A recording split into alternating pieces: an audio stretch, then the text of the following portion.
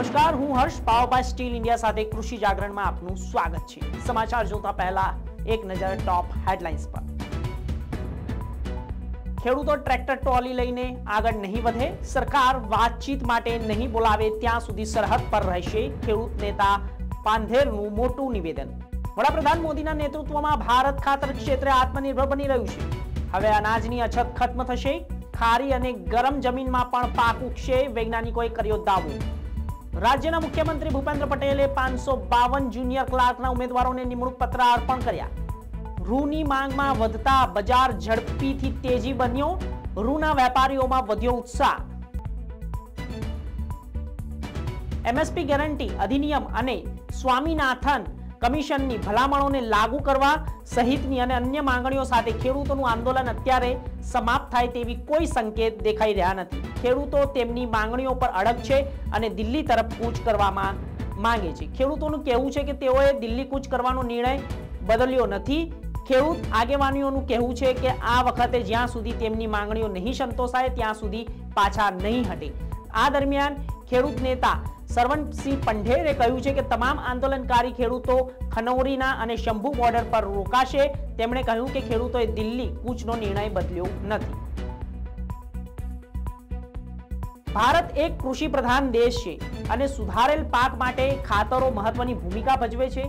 પરંતુ આ મહત્વપૂર્ણ ક્ષેત્રે પોતાને વર્ષથી વિપક્ષી શાસન હેઠળ ઉપેક્ષાનો ભોગ બની રહ્યું છે. જેની અસર ભારતના કૃષિ ક્ષેત્ર પર પડી રહી છે. વિપક્ષ પર પ્રહાર કરતા મોદીએ કહ્યું કે ખેડૂતોના હિતચિંતકોનો દાવો અને કરતી સરકાર ખેડૂતોને ખાતરની પ્રાથમિક જરૂરિયાત પણ પૂરી શકી, કરી શકી નથી. બે હજાર ચૌદમાં પ્રથમ વખત સત્તા સંભાળ્યા બાદ વડાપ્રધાન મોદીએ ખાતરનું ઉત્પાદન વધારવાને સર્વોચ્ચ પ્રાથમિકતા આપી હતી.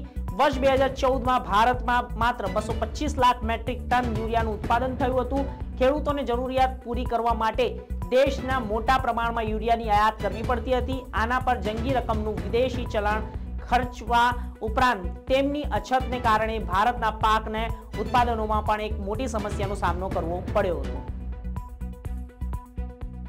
વિદેશની વેનિસ યુનિવર્સિટીના વૈજ્ઞાનિકોએ પાકના આધારે ખાસ સંશોધન શોધી લાવ્યા છે, જે વિશ્વની ખાદ્ય સમસ્યાનો સામનો કરવામાં ખૂબ જ મદદરૂપ થશે. તેઓએ જમીનનો અને પદાર્થો શોધી કાઢ્યા છે.